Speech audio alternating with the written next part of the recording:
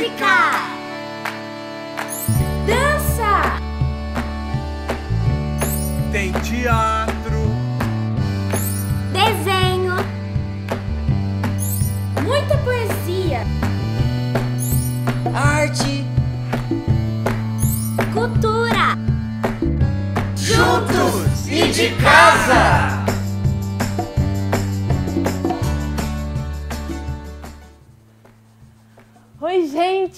Bom dia! Muito bom receber vocês aqui em casa hoje de novo. Podem chegar, ficar à vontade mais uma vez. Eu tô um pouco atrasada, assim, agitada. É que eu tava lá atrás com a professora Beta Cruzes e ela tava me mostrando um livro muito bacana que ela retirou lá daquele baú dela. O livro fala sobre empatia, sobre a importância da gente enxergar o outro, enxergar as necessidades das outras pessoas. É muito bacana. Eu, inclusive, pedi para ela trazer o livro para ler para vocês. Gente, que o professor estilógrafo tá fazendo aqui em casa hoje tão cedo?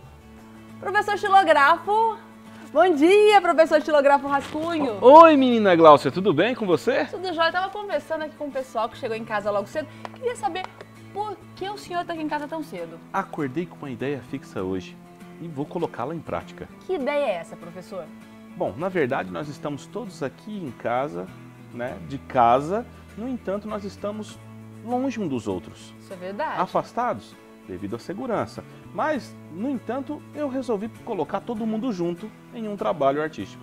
Como é que o senhor vai colocar essa ideia em prática? Bom, eu estou pensando em fazer caricatura. Colocar todos juntos numa grande caricatura. Eu acho super legal caricatura, mas professor, como é que funciona essa técnica?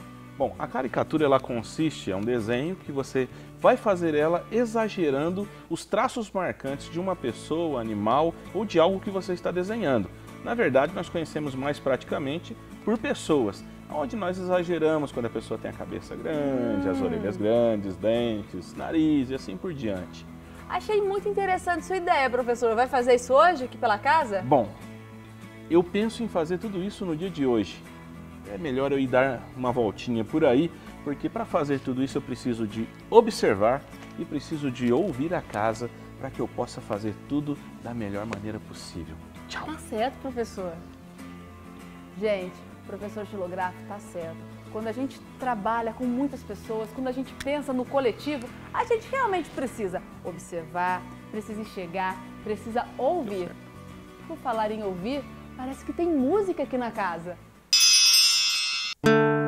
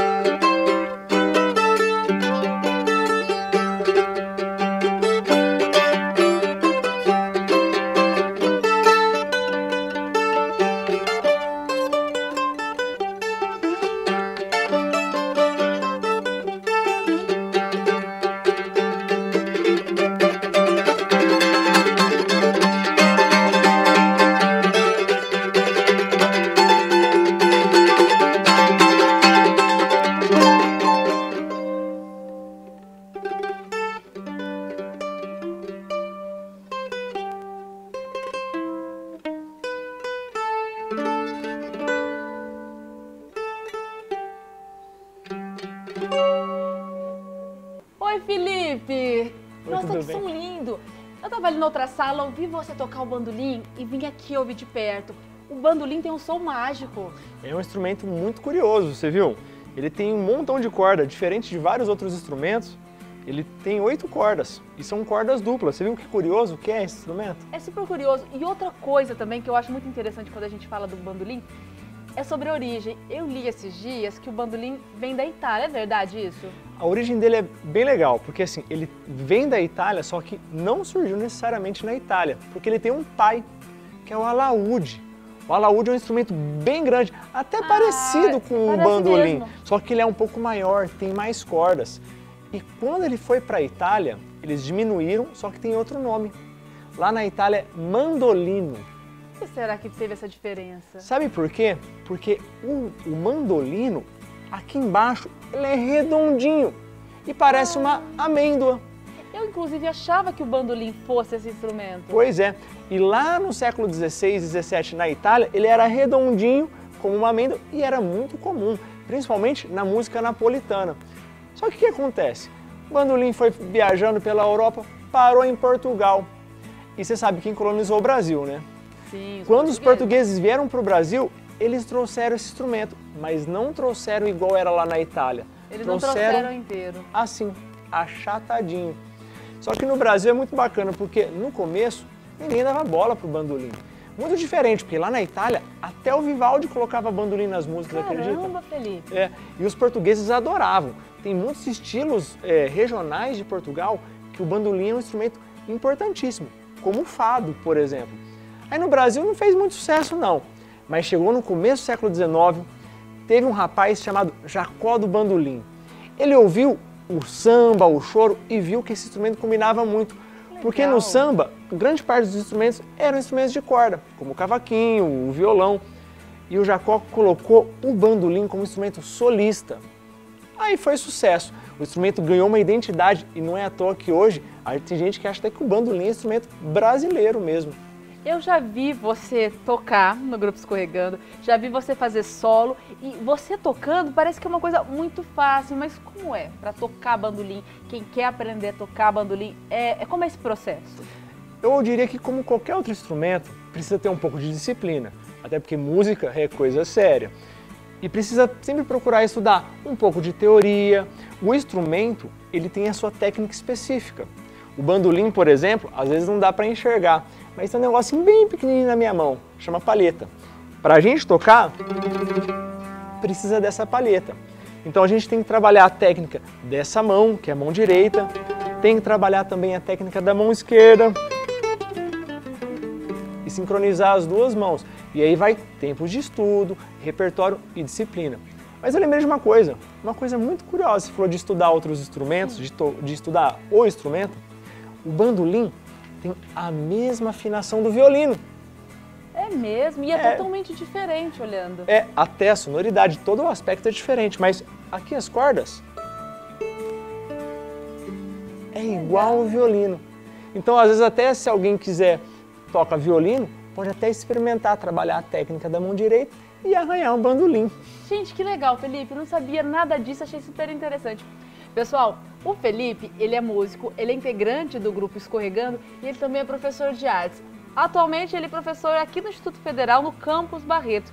E aqui hoje, agora também ele está na nossa casa e veio para cá para morar com a gente. Ô Felipe, eu sei que você toca outros instrumentos e também é compositor, não é? É, isso é, é verdade. Assim, a gente arranha um pouco, na verdade, porque tocar instrumento precisa de muita dedicação. Mas lá no passado eu estudei violão, estudei teclado, estudei piano e fiz umas bagunças com outros instrumentos também. Mas essa história da composição, isso vem desde pequenininho. Eu vou te contar essa história. Quando eu era bem guri, eu e meu irmão mais velho, a gente gostava de sentar junto e fazer paródia. Paródia. Paródia. Pegava as músicas que já tinha, colocava outras letras e fazia bagunça. Brincava com a família inteira. Tem alguma que você lembra? Hum, eu acho que vou guardar essa para um próximo dia que eu for ficar Tá, aqui em tá casa. bom. Mas tem várias paródias que a gente fazia e divertia toda a casa mesmo. Só que o que acontece? Hum, A gente está passando um tempo muito difícil, né? Essa, essa pandemia criou um afastamento. E meu irmão ele não mora mais aqui em Barretos, não mora mais com a gente. ele mora lá em Portugal. E quando começou essa situação da pandemia, a gente começava a conversar, que a gente sempre falava de música. E ele adora compor também. E nessa a gente teve uma ideia. Por que a gente não faz uma música para sensibilizar as pessoas sobre o que está acontecendo? Bacana, Felipe. E é verdade. E essa música, a gente fez uma música chamada Be Strong, que é Seja Forte, que é para tentar trazer tanto a questão da empatia quanto da força que a gente precisa para passar nesse tempo que realmente não é fácil. Empatia, algo fundamental nesses tempos de pandemia. É verdade. E é importante a gente tentar compartilhar. E a arte é isso, é um meio de levar uma mensagem, uma mensagem de esperança para que as pessoas possam, nessa situação de isolamento, às vezes em casa, saber que no final a gente vai conseguir, vai ficar tudo bem. Felipe, a gente, você falou de música, de empatia, fiquei com muita vontade de ouvir a sua música. É verdade que tem um videoclipe dela Sim, também? Sim, eu tô com o clipe aí, você quer ver? Eu quero. Eu tô com o controle aqui, vamos, vamos passar na televisão? Põe pra eu mostrar pra você. Vocês querem ver também? Eu acho que todo mundo quer ver, vamos assistir? Vamos, vamos. Então vamos lá.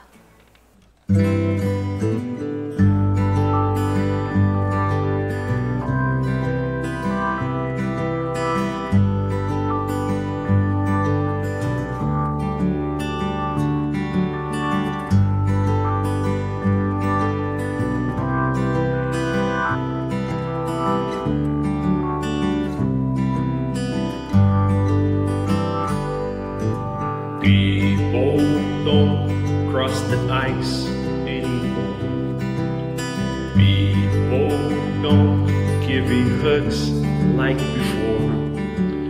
People fight invisible war to survive, refined to love. What we must is protect the ones, those that in the past have protected all of us. What we must so easy to be done, to survive, to refine through love.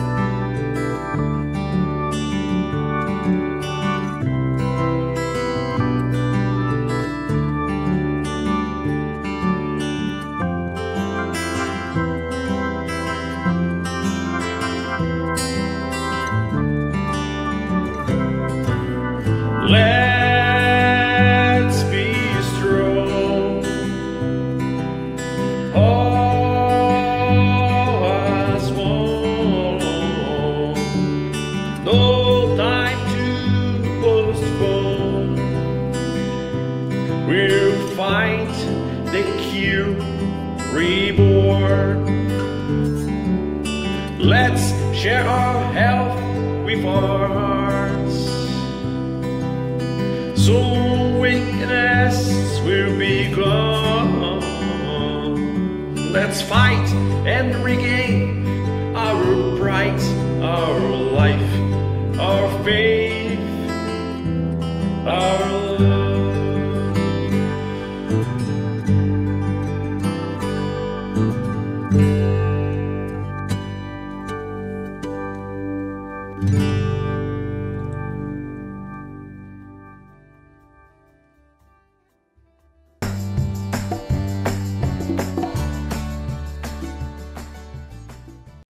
Essa programação tem um apoio cultural.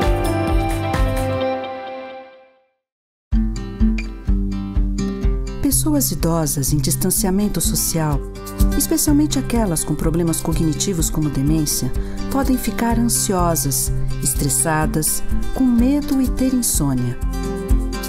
Por isso, é importante equilibrar notícias e entretenimento. Sugira passatempos, como participar de grupos de amigos e familiares nas redes sociais, assistir filmes e novelas, ouvir música, fazer trabalhos manuais.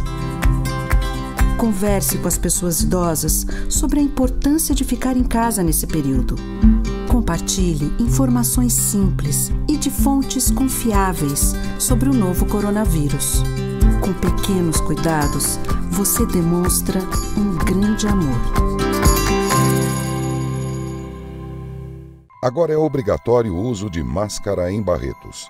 Então preste atenção. Se você for entrar em um estabelecimento comercial ou público, use máscara. A máscara é de uso individual, cada pessoa deve ter a sua.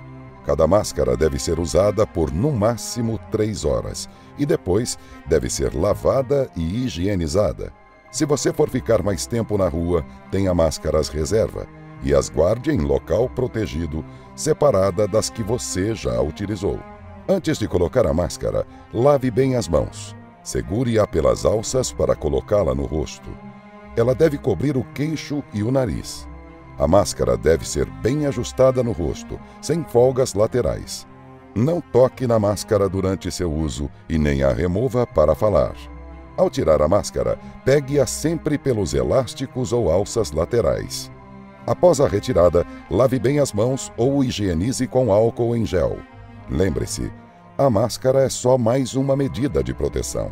Continue com o distanciamento social e só saia de casa em extrema necessidade. Barretos, uma cidade de todos.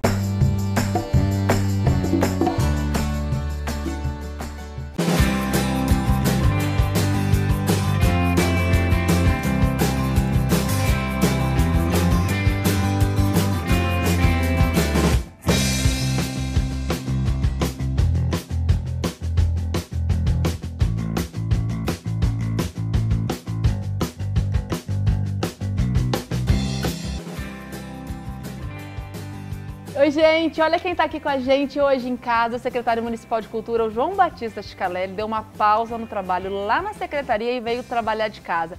Chicalé, é bem melhor trabalhar daqui, não é? Com certeza, trabalhar aqui é outra coisa, é um conforto bem, bem melhor do que na secretaria, mais tranquilo. E trabalhar perto de vocês aqui, dos, dos nossos artistas aqui, é maravilhoso. Eu estava fazendo despacho agora há pouco, né, aqui do quarto e estava ouvindo também as conversas, maravilhosamente bem, muito bom.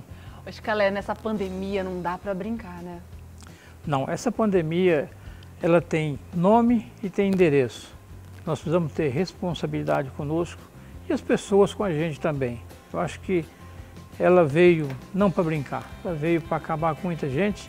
Nós estamos perdendo muitos entes queridos, muitas pessoas de perto, e se a gente facilitar, a gente pode ser uma dessas pessoas. Portanto, vamos ter muita responsabilidade com a Covid-19, porque ela não veio para brincar. Verdade muita responsabilidade ela nos pede e também pede muita mudança de hábitos. Calé, como é que está o trabalho da Secretaria de Cultura agora, nesse momento da pandemia?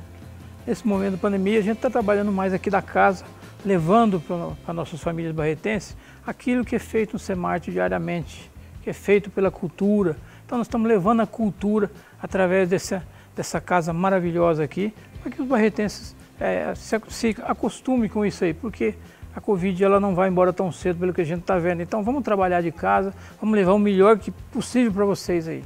Ô Chicalé, e, e, muita coisa diferente está acontecendo, né? Você falou de trabalhar em casa, de, das aulas na Secretaria de Cultura, mas tudo muito diferente. O que você está achando? Tanto das aulas quanto aqui da nossa casa, de morar aqui?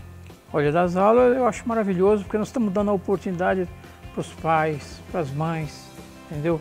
Para as famílias acompanhar o trabalho que os alunos passam no SEMART pelas aulas que eles assistem pelo SEMART.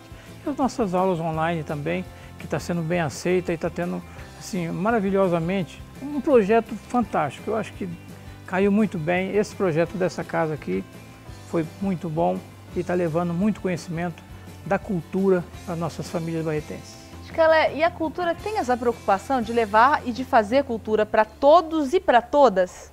Sim, desde quando eu assumi a secretaria como secretário de Cultura, a minha preocupação foi essa, levar a cultura para o nosso povo, levar a cultura para a família barretense, para que todas as pessoas possam se interagir com a cultura.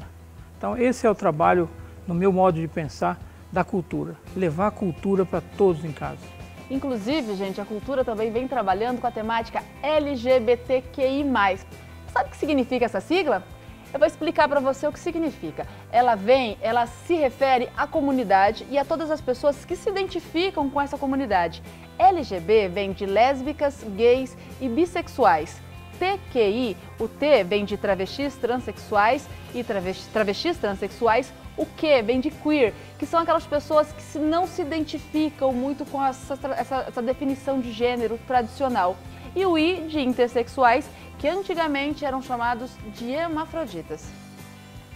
Escalé, é importante mostrar a cultura e deixar que todas as pessoas façam cultura? Sim, eu acabei de falar agora há pouco. A cultura é para todos. Nós não temos que distinguir raça, cor, nada. É sexo. A cultura é para todos, independente de qualquer que seja. Somos todos iguais. O sangue é vermelho de todo mundo. Então não existe esse negócio de dizer esse é aquilo, aquilo não pode, o outro não pode. Não tem isso. Cultura, ela é, é mundial, ela é uma coisa só, é o meu modo de pensar. Cultura não tem separação, ela é tudo misturado. Hoje, Calai, por falar em tudo misturado, nós estamos aqui todos juntos, misturados em casa, separados, né? Um pouquinho à distância por causa do isolamento. Você vai ficar aqui hoje com a gente, trabalhar de casa? Hoje eu vou terminar meu dia aqui.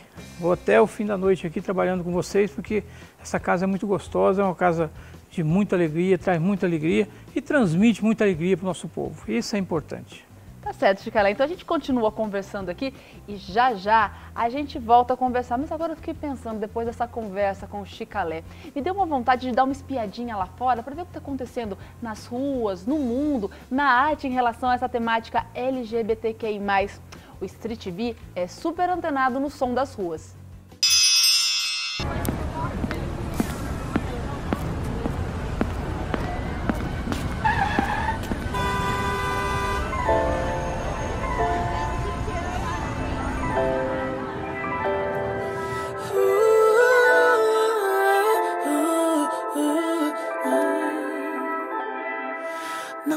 Parece certo alguém que tem asa ser colocado dentro de uma caixa sem ver a luz do sol brilhar. Pra mim não faz sentido alguém que tem asas não ter o céu inteiro para poder voar. Se eu tenho asas, eu sei que o céu é o meu lugar. Eu só queria voar. Eu só queria voar. Eu só queria voar. Eu só queria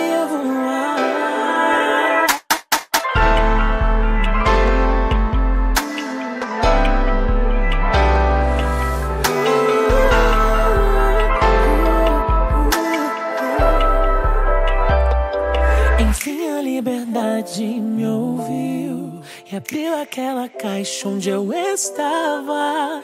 Tentei voar, mas minhas asas não funcionavam mais. Eu passei tanto tempo ali, tanto tempo que desaprendi.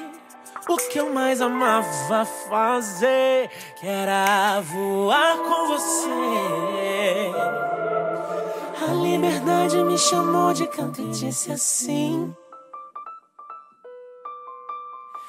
Não deixe nada te dizer quem você é, você é o que vem em mim. Eu aprendi a voar, eu aprendi a voar.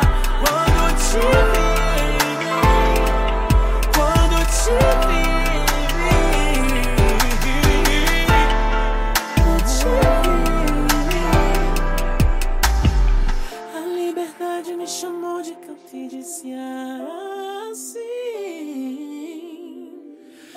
deixe nada te dizer quem você é. Você é o que vem em mim.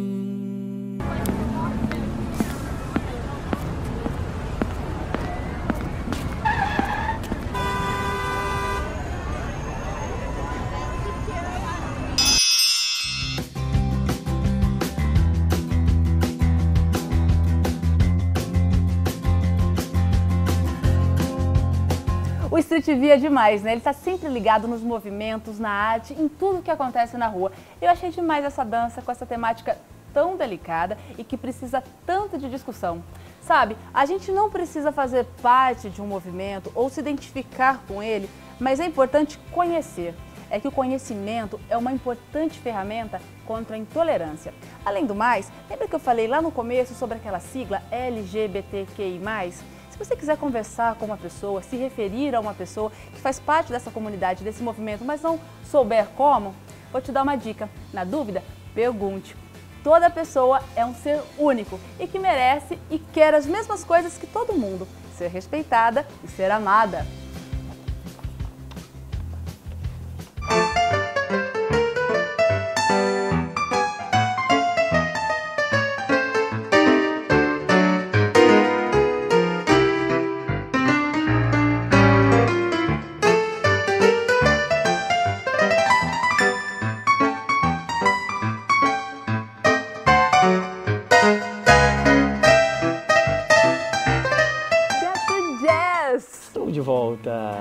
Vendo que você tá numa pegada bem hip hop hoje. Exatamente, eu tô vendo vocês falar da importância, da preocupação com as outras pessoas, com tudo que tá acontecendo e resolvi descer e ouvir um pouquinho vocês.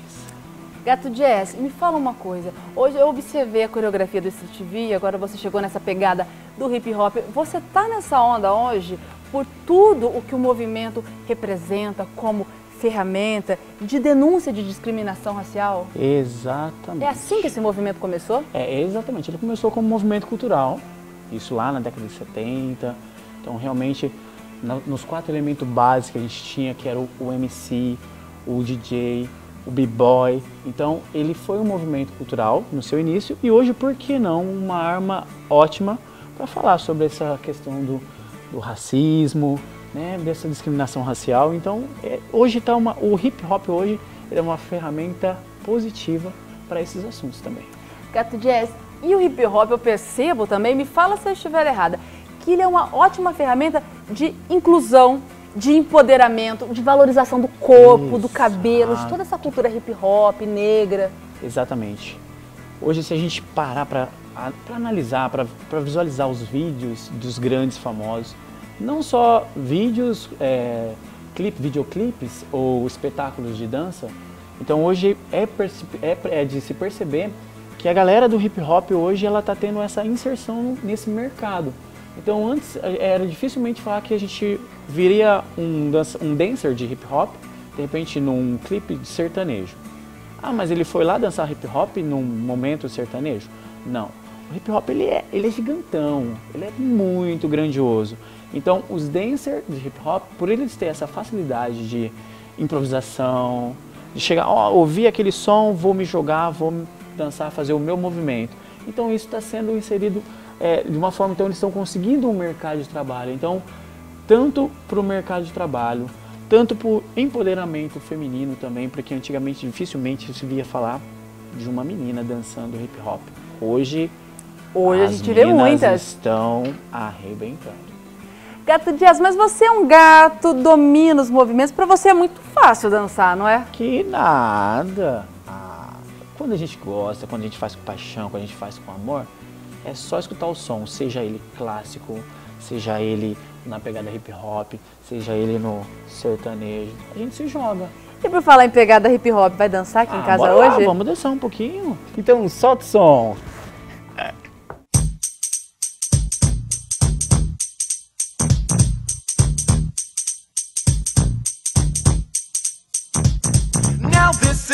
Story all about how my life got flipped, turned upside down. And I'd like to take a minute, just sit right there. I'll tell you how I became the prince of a town called Bel Air.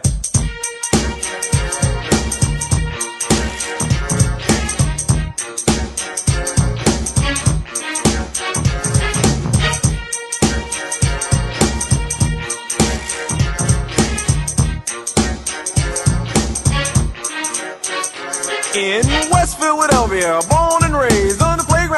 I spent most of my days.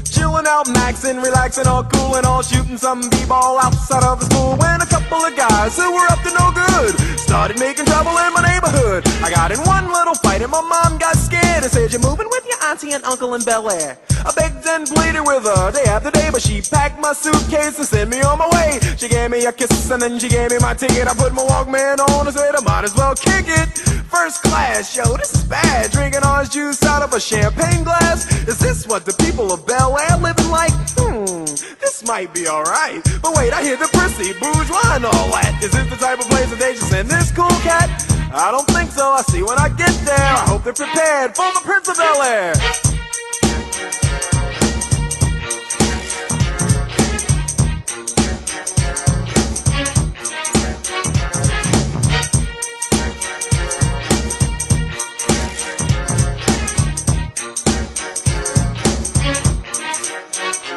The plane landed and when I came out, there was a dude look like a cop standing there with my name out. I ain't trying to get arrested yet, I just got here. I sprang with the quickness like lightning disappeared. I whistled for a cab and when it came near, the license plate said fresh and it had dice in the mirror. If anything, I could say that this cab was rare, but I thought, man, forget it. Yo, home to Bel Air.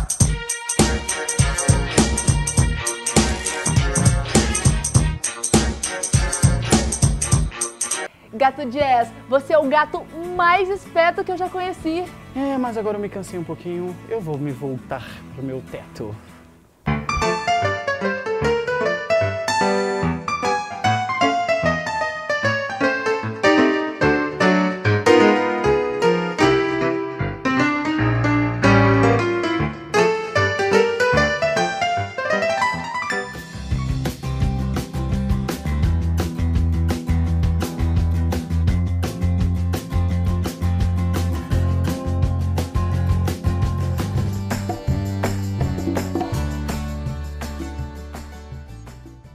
Essa programação tem o apoio cultural.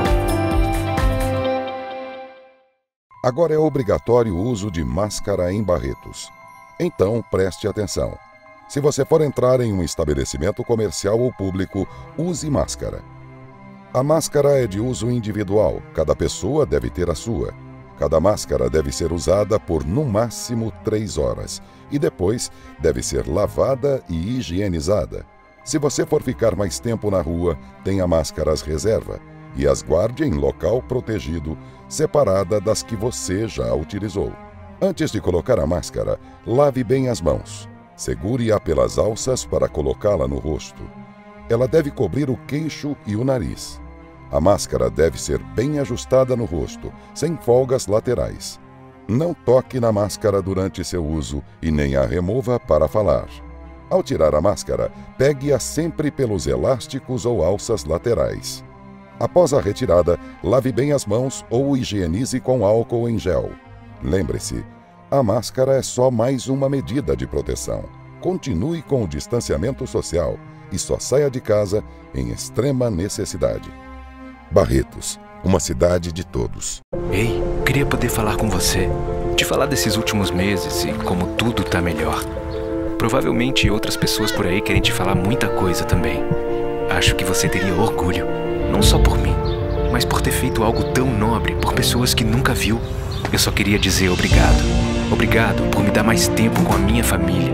Obrigado pela sua doação de sangue. Doe sangue regularmente. Tem sempre alguém precisando de você. Procure o Hemocentro mais próximo e seja um doador.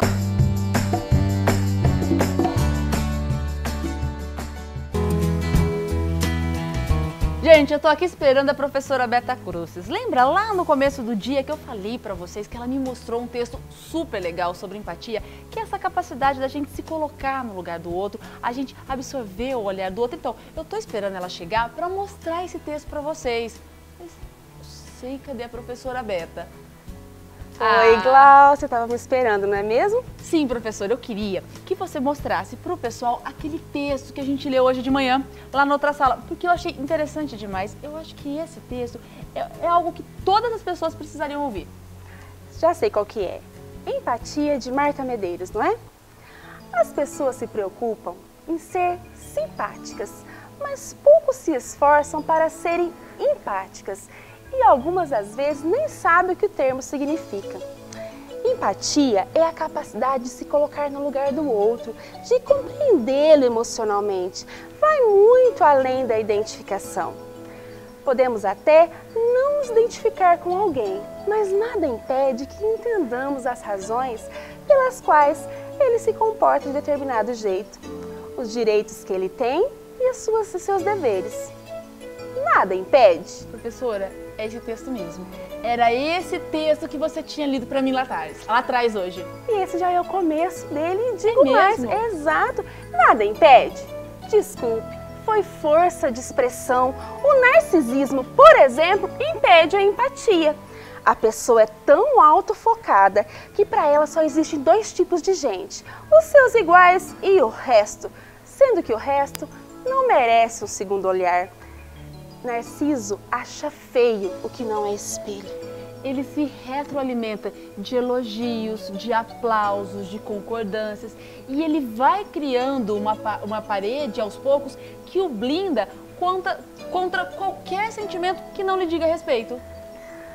Se pisam no seu pé, reclama e exige que os holofotes se voltem para essa agressão gravíssima. Se pisam no pé do outro, é porque o outro fez por merecer. Pessoas que não circulam, não têm amigos, não se instruem, não leem, enfim, pessoas que não abrem seus horizontes tornam-se preconceituosas e mantêm-se na estreiteza da sua existência. Qualquer estranho que tenha hábitos diferentes dos seus será criticado em vez de aceito e tolerado. Os ignorantes têm medo do desconhecido e o evitam. É preciso sair de dentro de si para enxergar o outro. E afora o narcisismo e a ignorância, há o mau caratismo daqueles que, mesmo tendo o dever de pensar no bem público, colocam seus interesses acima de todos e trabalham só por si mesmos. E aí, os exemplos se empilham.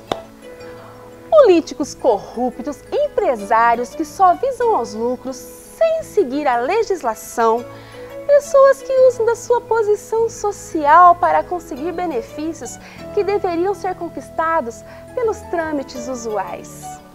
Sem falar de atitudes prosaicas, como por exemplo, furar a fila, estacionar em vagas de deficiente, terminar namoro pelo Facebook. Faltar compromissos sem avisar, enfim, aquelas coisinhas que são feitas no automático, sem pensar que do outro lado do balcão há alguém que pode estar se sentindo prejudicado ou ofendido. É um assunto recorrente. É preciso mais gentileza, etc e tal. Mas para muitos, gentileza é só abrir a porta do carro para a moça entrar ou sair, é juntar um pacote que caiu no chão. E não é que você decorou mesmo todos os textos, Glaucia? É verdade, mas eu quero saber o que é preciso para ser gentil. Sim, todos gentis, mas colocar-se no lugar do outro vai muito além da polidez e é o que realmente precisamos para transformar o mundo em que vivemos. A cada pequeno gesto, a cada atitude que tomamos, estamos interferindo na vida alheia. Logo, sejamos mais empáticos do que simpáticos. Ninguém espera que você, você, você ou eu passemos a agir como os heróis ou santos, mas que tenhamos a consciência que só desenvolvendo a empatia é que se cria uma corrente de acertos e responsabilidade. Colocar-se no lugar do outro não é uma gentileza que se faz, é a solução para transformarmos essa barbárie e sermos considerados uma sociedade civilizada de fato. Depois desse texto, acho que a mensagem ficou clara, não ficou, professora? Eu torço por um mundo com mais empatia. A nossa casa toda também.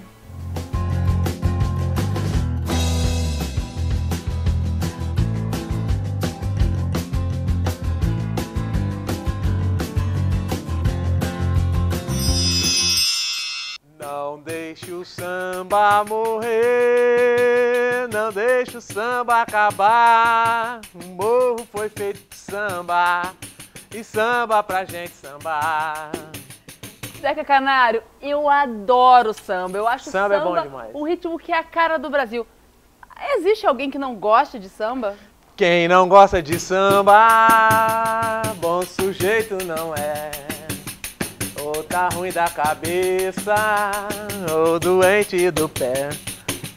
Eu acho que o samba é a nossa música, Zeca Canário, mas eu tenho dúvidas sobre a origem do samba. Você sabe É, alguma coisa sobre eu isso? sei, sei. A origem do samba veio ali da, veio da Bahia, do recôncavo baiano.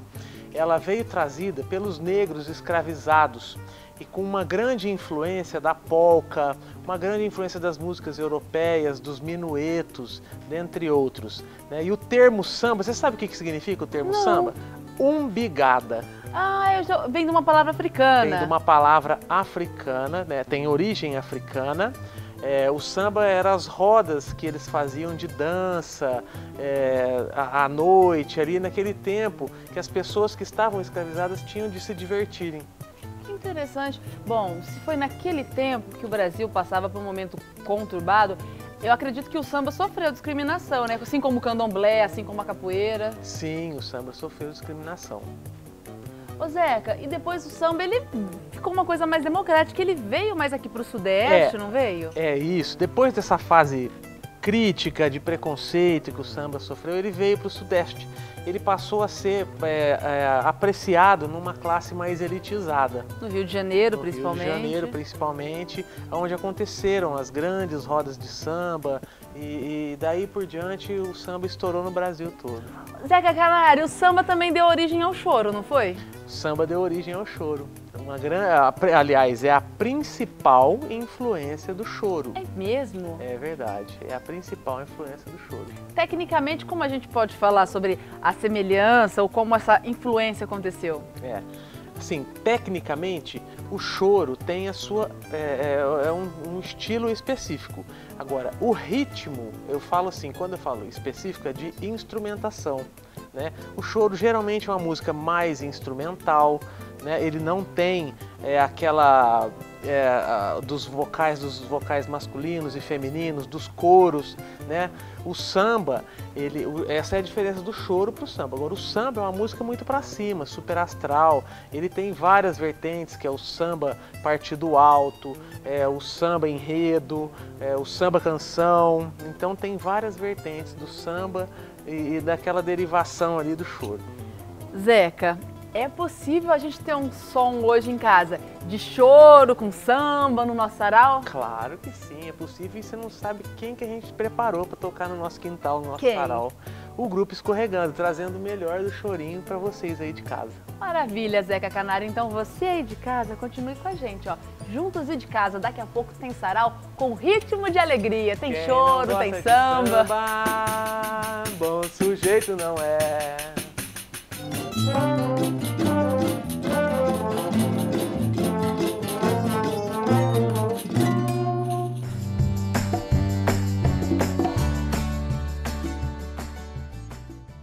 Essa programação tem o apoio cultural.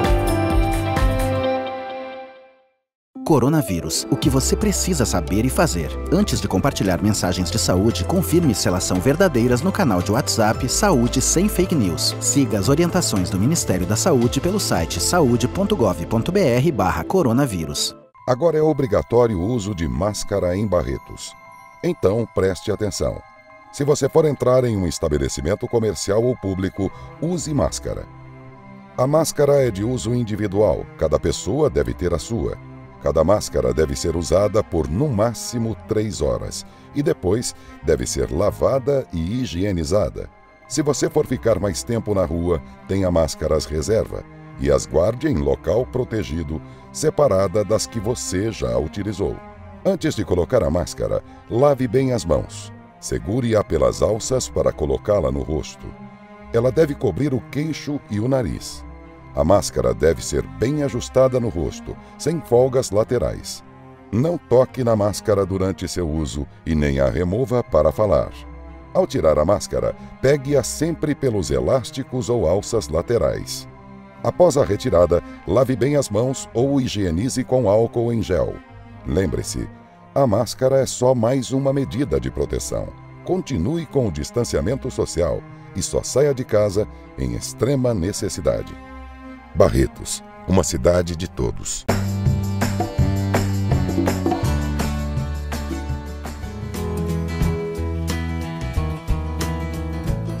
Samba, choro e uma dose extra de alegria. Para nos estimular a pensar no próximo com mais amor. Na nossa casa, para vocês, Grupo Escorregando.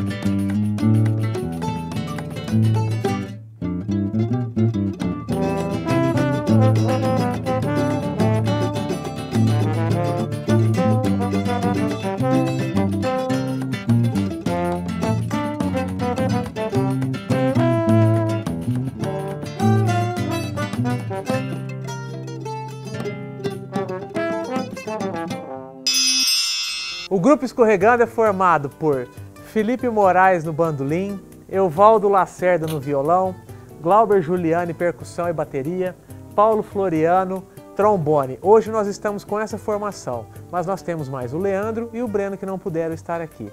Então, vamos de choro com vocês.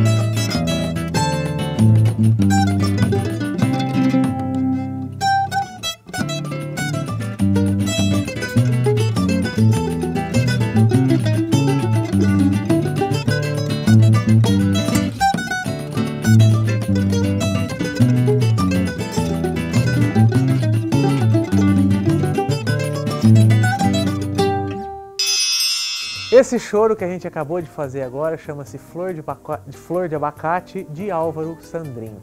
E agora nós vamos dar sequência na nossa apresentação com Apanhei de Cavaquinho.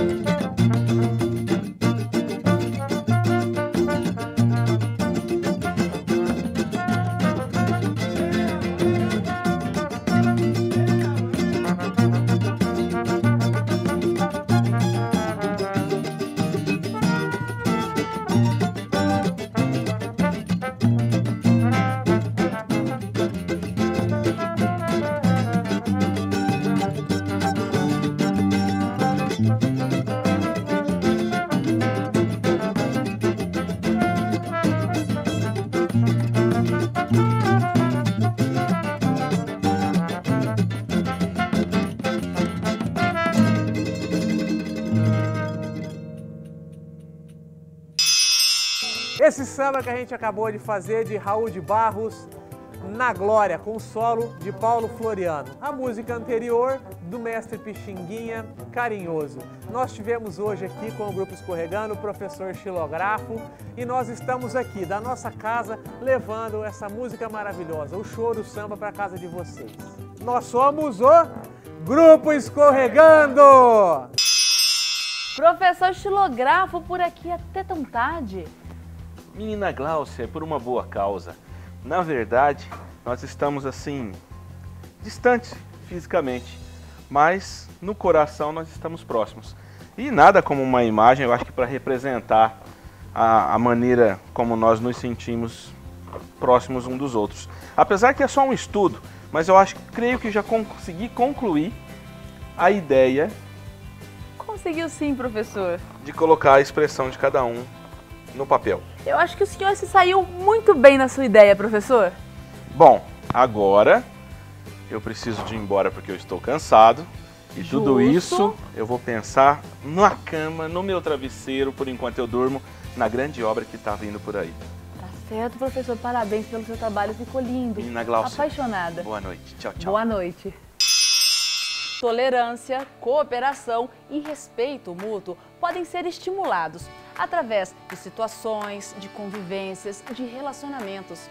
Mas a vontade de viver em um mundo melhor é fundamental. Mas a gente tem esperança de que um dia o mundo chega lá.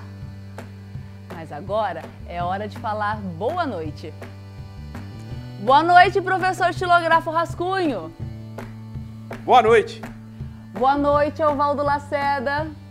Boa noite. Boa noite, Felipe Moraes. Boa noite. Boa noite, João Batista Chicalé. Boa noite. Boa noite, família barretense. Muito obrigado por vocês estão participando aqui do nosso programa, da nossa casa. Espero que vocês tenham curtindo. Maravilhosa. Muito obrigado. Boa noite, Street V. Boa noite. Boa noite, Gato Jazz. Boa noite. Boa noite, Beta Cruzes. Boa noite. Boa noite, Zeca Canário. Boa noite. Boa noite, Paulo Floriano. Boa noite. Boa noite, Glauber Juliane. Boa noite. Boa noite, Bruno. E boa noite para você. Tchau.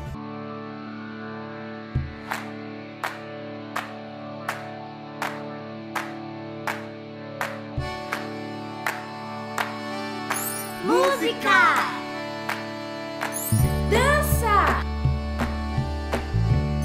Tem teatro. Desenho. Muita poesia. Arte. Cultura. Juntos e de casa.